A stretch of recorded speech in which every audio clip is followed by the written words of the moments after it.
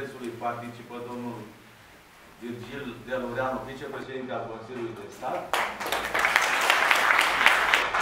Scuze, al, al Consiliului de Stat, a făcut vicepreședinte al Consiliului de Stat, era bine. Era bine, da, era bine. Da. Domnul uh, conferențiar universitar, dr. Emanuel Soare, pro-rector al Universității din București, doamna conferențiar universitar, dr. Loredana Broju, reprezentanta decanatului Facultății de Științe ale Educației, doamna Vera Rachina, inspector la Inspectoratul Școlar, domnul rector universitar Nicolae Cornel,